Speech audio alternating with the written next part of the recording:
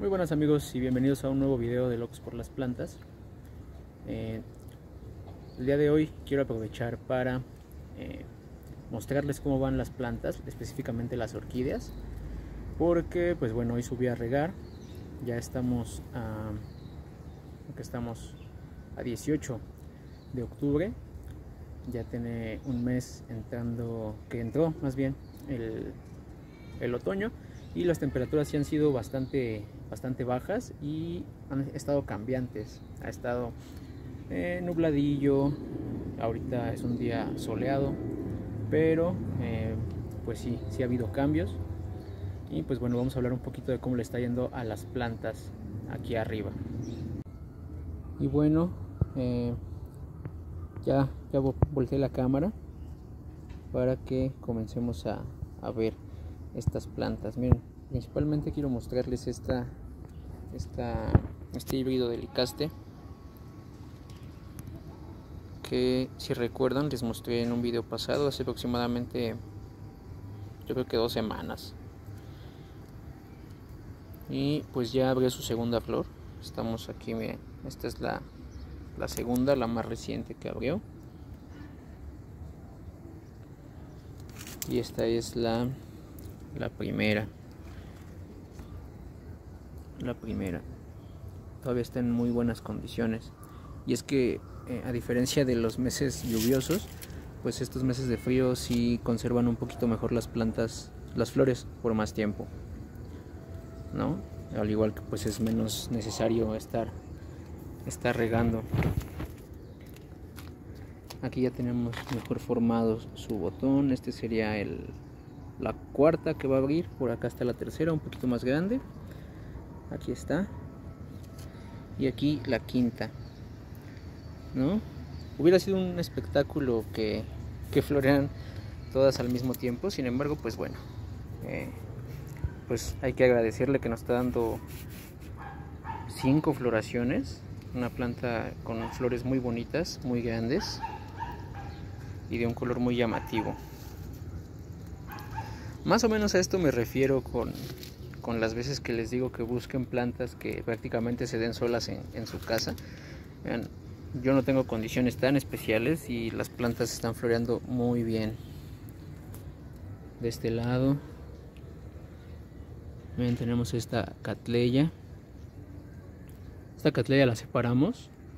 Era una catleya muy grande y lo resintió un poquito. De hecho, la otra parte ya murió, la otra división sin embargo esta está muy bien y ya tenemos ahí la el botón ya demasiado grande no a diferencia de la de la vez pasada que les di su que les que les hice un recorrido por aquí por las plantas.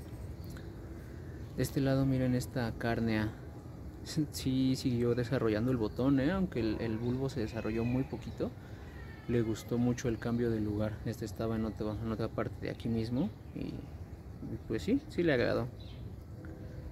Eh, ¿Qué más? ¿Qué más hay por aquí?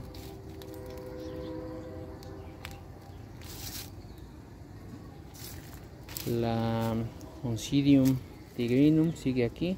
Algunas florecitas están manchadas porque, como les dije, ha estado lloviendo. Sin embargo, ya abrieron un par de flores más a cuando la habíamos visto. vamos a girarla un poco para que la vean mejor. La verdad es que es una floración muy discreta, pero pues bastante bonita.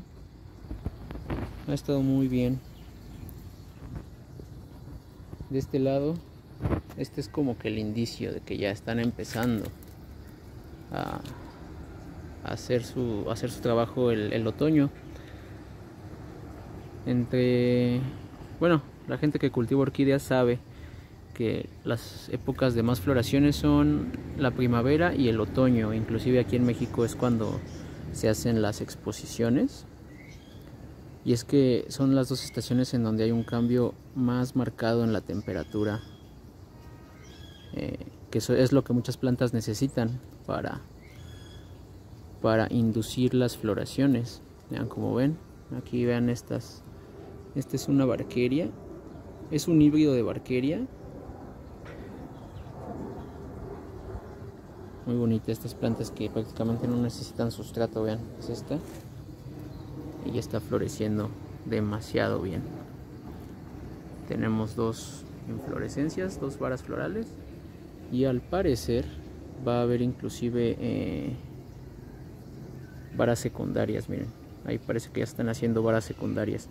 Vamos a subir un video después más a detalle de las barquerias porque acá ya nos está floreciendo también este híbrido de Barqueria scandens con Epicatleya René Márquez. Sin embargo está en su floración eh, temprana. Vean ya tenemos eh, estas estas floraciones. Esta siempre ha sido muy generosa también es un híbrido. Y ven prácticamente estas plantas inclusive se puede decir que están en condiciones como raras, ¿no? No se les ha consentido mucho en cuestión a sustrato, en cuestión a riego y se han dado súper bien.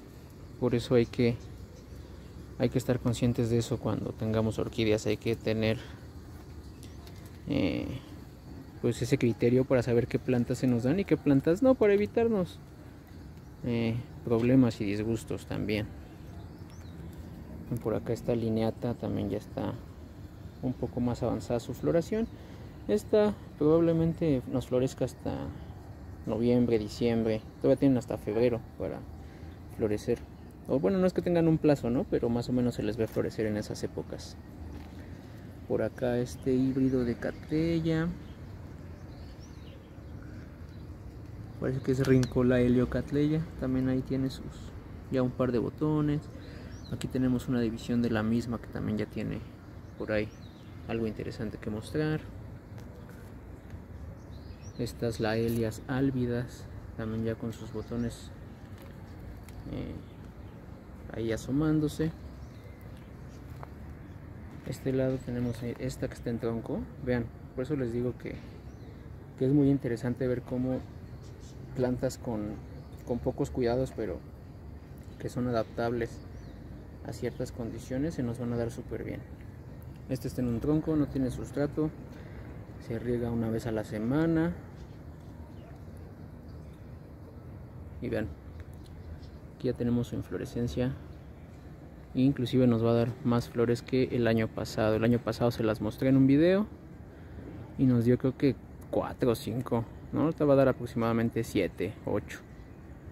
También es discreta, pero pues está muy bien y es una flor muy bonita que también les vamos a mostrar cuando cuando pues ya nos florezca la, la planta no y por acá hay una que sí les quería mostrar bastante porque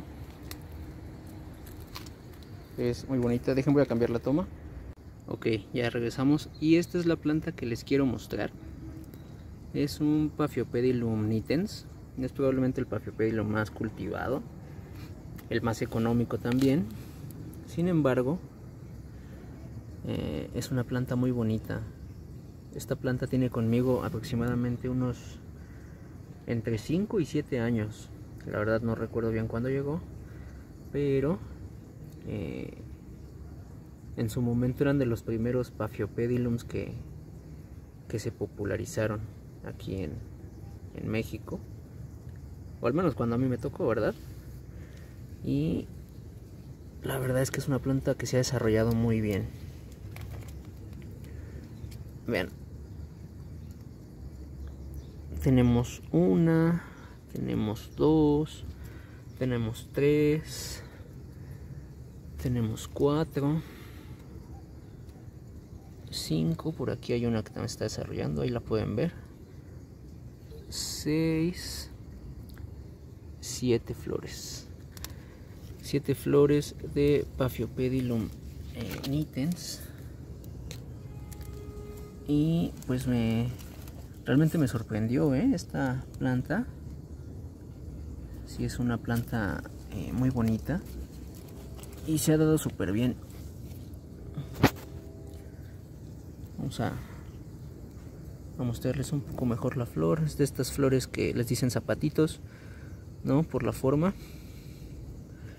Está súper bien. esta sí eh, floreó un poquito más al mismo tiempo tiene ahorita tres flores abiertas va a tener cinco y a lo mejor las otras dos pues ya no alcanzan a, abrir al mismo tiempo. Pero pues es una planta bastante pues sí se ha adaptado muy bien. Y son plantas que se pueden eh, cultivar de manera muy fácil y dar buenos resultados. De este lado tenemos otra. Hoy por ahí escondida. Y vean. También ya ya floreció bien. Esta planta tiene alrededor de unos dos años. Y aquí tiene su flor. También muy bonita. Y son como como las las que están ahorita disponibles. Vale voy a subir un video hablando también de del Nitens un poquito específicamente de mi cultivo de Nitens que son pues estas dos un poquito más tal vez pero eh, les voy a decir cómo las cuido en otro video. En un par de días vale y bueno amigos hasta aquí nuestras floraciones a la fecha o lo más importante que ha pasado aquí en las orquídeas. Muchas gracias por ver este video. Nos vemos en el próximo. Bye